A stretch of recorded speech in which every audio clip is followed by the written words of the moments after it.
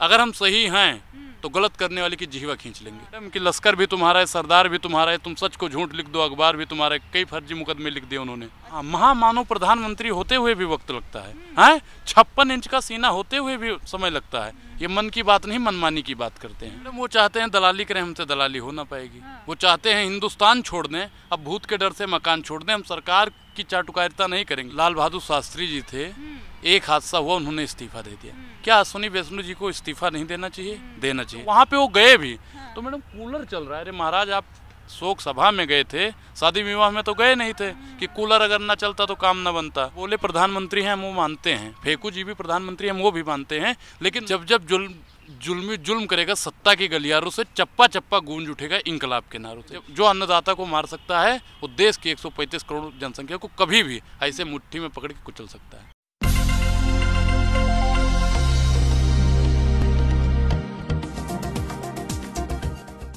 नमस्कार, मैं शिखा, आप सभी का जनहित आवाज़ में स्वागत करती हूँ। आजकल तमाम मुद्दे चल रहे हैं, जैसे किसानों को लेके, पहलवानों को लेके और उन सब के बीच में बहुत तमाम चेहरे चर्चित हुए। कलीम, शेख और ना जाने शुभम और बहुत सारे लोग आए और बहुत सारे लोग चले भी गए। लेकिन एक ऐसा चेहरा जो बहुत वायरल हुआ, बहुत पॉपुलर हुआ और मिलियनों में उसके जो है व्यूज़ गए वीडियोस गए, लेकिन वो हर हमेशा हर उस मुद्दे को लेके उठाता था जो समाज के हित के लिए होता था।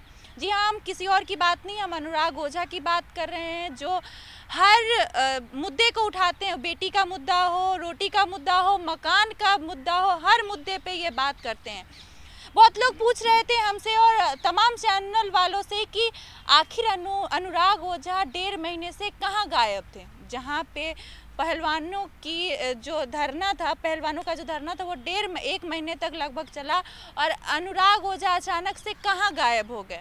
तो मेरे साथ है अनुराग ओझा हम इनसे बातचीत करेंगे कि कहाँ थे अनुराग ओझा इतने दिनों से?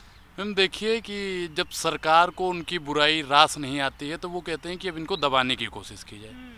जब जब जुल्म, जुल्मी, जुल्म करेगा, सत्ता के गलियारों से चप्पा चप्पा गूंज उठेगा इनकलाब के नारों से। ये अनुराग को दबा सकते हैं और किसी को दबा सकते हैं, लेकिन मैम, भारत की आवाज़ को दबाने की न हिम्मत वर्तमान सरकार में है, ना पूर्ववर्ती सरकार में है, ना आने वाली सरकार में है। तो आपको ऐसा क्या हुआ था जो अचानक से ये बोलने वाला चेहरा जो हर बार आवाज़ उठाता है वो अचानक से चुप हो गया? मैडम वो चाहते हैं दलाली करें हमसे दलाली हो ना पाएगी। हाँ। वो चाहते हैं हिंदुस्तान छोड़ दें। अब भूत के डर से मकान छोड़ दें। हम सरकार की चाटुकारिता नहीं करेंगे। जब तक भारतीय जनता पार्टी वास्तविक मुद्दों पर बात नहीं करेगी तब तक अनुराग ओझा उनके पीछे लगा रहेगा। वो वास्तविक मुद्दा मैडम वो किसान की बात करते हैं ना जवान की बात करते हैं ना संविधान की बात करते हैं।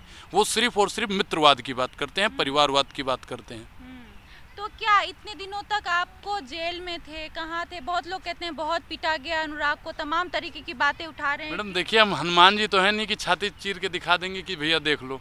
उनतीस तारीख को देर रात के यहाँ से उठाया गया। तीस को हम वहाँ से पहुँचे तीस को संडे था और फिर एक तारीख को हमारी जमानत हो गई। कुछ दिक्कत आई वहाँ पे? नहीं दिक्कत क्या? अब जो ले जा रहे थे कह रहे थे कि भाजपा वाले का विरोध काहे करते हो? जितने भी ब्राह्मण हैं भाजपा में हैं तुम भाजपा का विरोध कर काहे करते हो तो हमने कहा ब्राह्मण का मतलब होता है ब्रह्मांड की सत्यता को दिखाना। ले ये नहीं होता कि चापलूसी करो। लेकिन अब वही है ना मैडम कि लश्कर भी तुम्हारा है सरदार भी तुम्हारा है तुम सच को झूठ लिख दो अखबार भी तुम्हारा है कई फर्जी मुकदमे लिख दिए उन्होंने। अच्छा तो तमाम मुकदमे हुए अनुराग पे और अनुराग को कोई और नहीं यूपी पुलिस आपको यूपी पुलिस, जी। यूपी पुलिस इन्हें उठा के लेके गई थी और ये कह के कि चलिए सर बुला रहे हैं। उस दिन क्या हुआ था उस रात में अनुराग?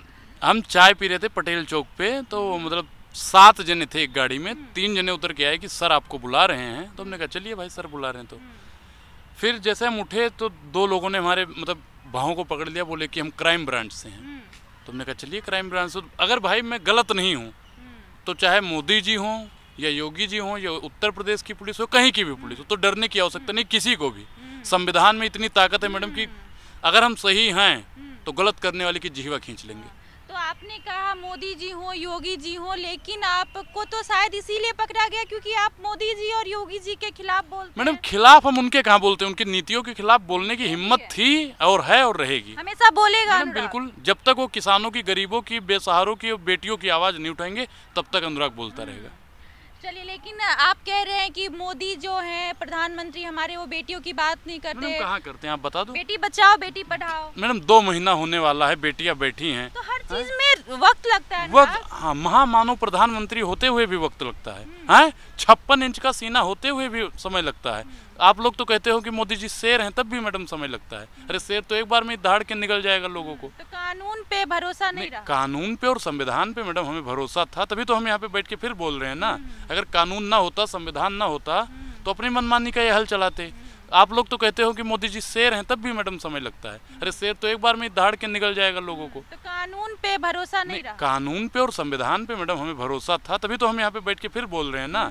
अगर कानून ना होता संविधान ना होता तो अपनी मनमानी का ये हल चलाते।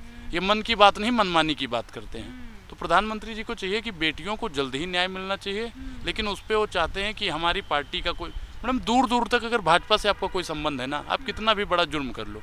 आपको बचाने के लिए एक कार्यकर्ता से लेके और सबसे बड़े पद पर साहब बैठे हैं, वो तक आपको बचाने के लिए मजबूर हो जाएँगे। ये बहुत बड़ा इल्ज़ाम लगा रहे हैं, आरोप लगा रहे हैं भारतीय जनता पार्टी पे। ये मैं नहीं कह रही, अनुराग की जबान है, क्योंकि अनुराग ने इस चीज़ को महसूस किया है।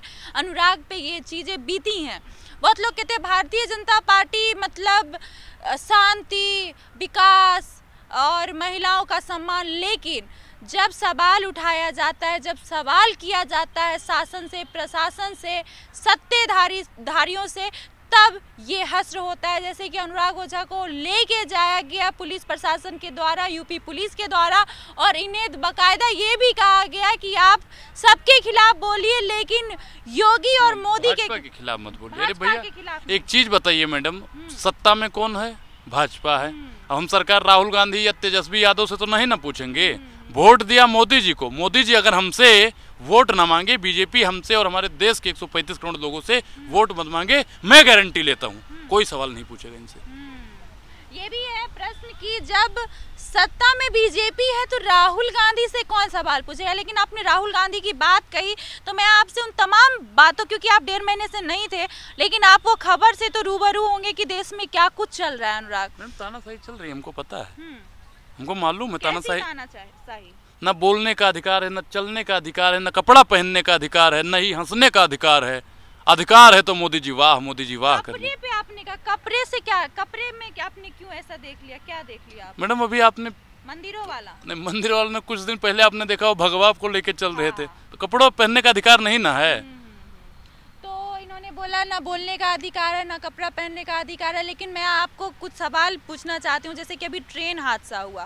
तो ट्रेन हादसे में क्या जैसे कि पिछले सरकार में भी इस्तीफा दिया था हादसा हुआ था तो क्या देखिए कि जो लाल बहादुर शास्त्री जी थे एक हादसा हुआ उन्होंने इस्तीफा दे दिया।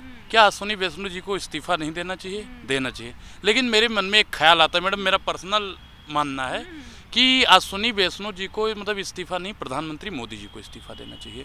क्योंकि हरी झंडी दिखाने के लिए अश्विनी वैष्णो जी नहीं जाते हैं।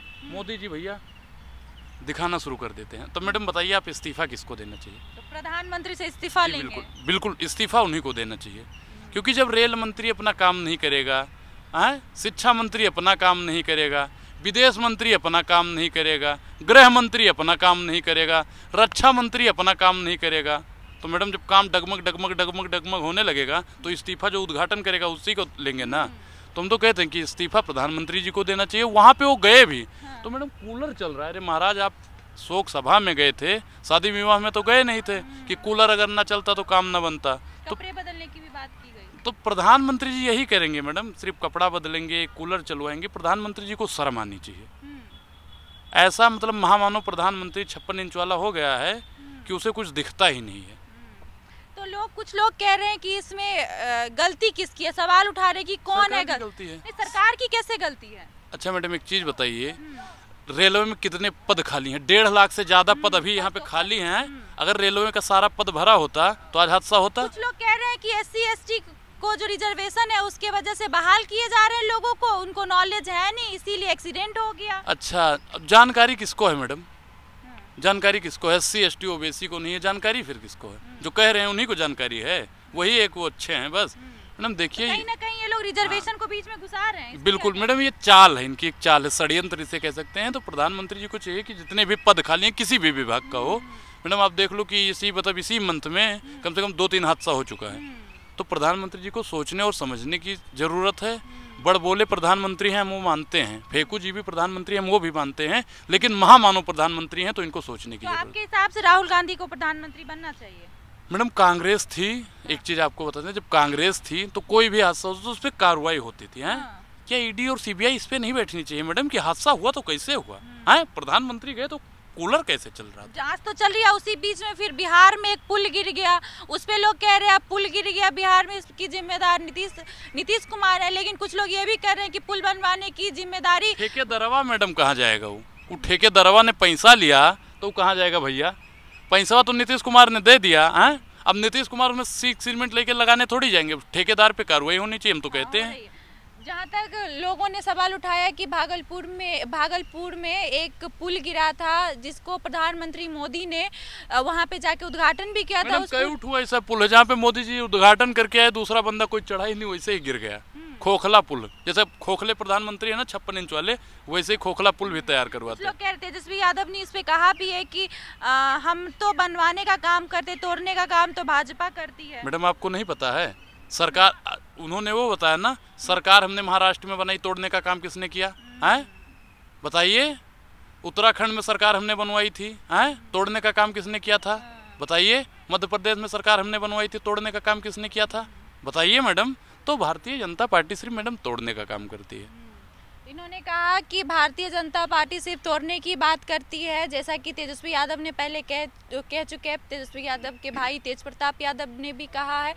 तमाम जो बिहार की राजनीति है, वो गर्म हो रही है कि और अभी आप लोगों को बता दें कि तमाम जो छोटी छोटी पार्टियाँ हैं अपने अपने क्षेत्र में जैसे कि सपा बसपा और आरजेडी जेडीयू ये तमाम पार्टी आम आदमी पार्टी कांग्रेस सब एकजुट होने की बात कह रही है कि मिलेंगे तभी भाजपा को तोड़ा जा सकता है। आप इस पे क्या कहें? मैडम बिल्कुल। अंग्रेज़ों से लड़ने के लिए और संग्रेजों से लड़ने के लिए अकेला भगत सिंह और गांधी काफ़ी नहीं है। सबको एकजुट होना चाहिए तभी हम सत्ताधारियों से बच पाएँगे। और नहीं तो ये गरीबों की कमर मैडम आए दिन तोड़ते रहेंगे। अभी हरियाणा में भी किसानों को मारा जा रहा है। तो वही तो मैडम मैंने क्या कहा कि अन्नदाताओं को जब ये कन्नदाता मार रहे हैं हैं तो वो क्या कह सकते हैं? जब जो अन्नदाता को मार सकता है वो देश की 135 करोड़ जनसंख्या को कभी भी ऐसे मुट्ठी में पकड़ के कुचल सकता है। तो अनुराग आपको क्या लगता है इतने दिनों में जो कुछ हो रहा है क्या इससे 2024 में परिवर्तन होगा? मैडम बिल्कुल। लेकिन आज अगर नहीं जागे ना लोग तो कभी नहीं जागेंगे। हम तो कहते हैं, भैया, पाँच किलो इनका राशन लेना भी बंद कर दो। हम तो लगता है उसी में कुछ मिला के खिला रहे हैं तो इसीलिए लोग मंद हो जा रहे हैं। मोदी मोदी मोदी मोदी किए जा रहे हैं। तो हमने अनुराग से तमाम मुद्दे पे बात की जो चल रहा है अभी, एक डेढ़ महीने से, डेढ़ महीने से अनुराग नहीं थे। इनकी अपनी कुछ ज़िंदगी, निजी ज़िंदगी में कुछ चल रहा था, जैसा कि हमने आपको बताया, और आगे भी हम अनुराग के इंटरव्यू करेंगे, उन तमाम मुद्दों पे बात करेंगे। हालाँकि आज हमने उन तमाम मुद्दों पे बात किया, इन्होंने कहा कि 2024 में सत्ता ज़रूर बदलेगी। आप लोगों की क्या राय है पूरी खबर पे?